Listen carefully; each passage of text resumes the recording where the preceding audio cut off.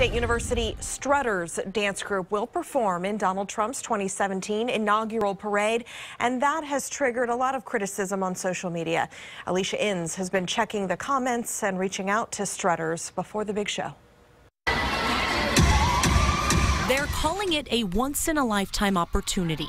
The Strutters made the announcement on Wednesday, and since then, the team has received hundreds of comments on Facebook and Instagram and even shut down their Twitter page. For former dancers like Kim Murr, who talked to us via Skype from Little Elm, Texas, this opportunity is nothing shy of extraordinary. I definitely would have loved to have had the opportunity to do something like this, regardless of who would have become president. Murr strutted her stuff with the group from 1991 to 94. She was a junior lieutenant and traveled with the Strutters to France and Switzerland for carnival performances.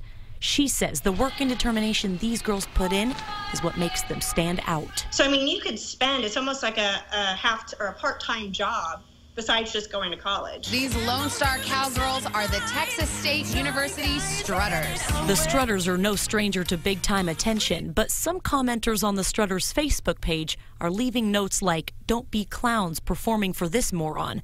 And this is intensely disappointing. He has said terrible things about women. But there's also support for the 56 year old dance team, even from a Strutter alum who remembers her time performing during the Kennedy inauguration. For Murr, she hopes people swallow their pride and see the pride a team from San Marcos, Texas represents. The uh, Strutters committed to performing in the inauguration back in um, early part of 2016 before the election was even decided. And I think that this just goes to show that they honor their commitments and, you know, they want to work hard towards that.